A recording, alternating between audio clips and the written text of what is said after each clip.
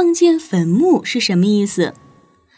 晚上做梦，很多人经常会梦见坟墓，而坟墓却是我们最不想见到的，毕竟它代表着恐怖与死亡。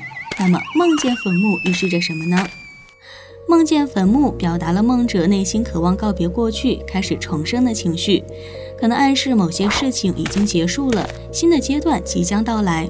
梦见去扫墓，预示你和亲人、朋友的感情会进一步加深，在需要帮助的时候，可以向亲友寻求帮助和指点。梦见黑夜里走过墓地，预示梦者身体健康下降，近期要注意休息，补充营养。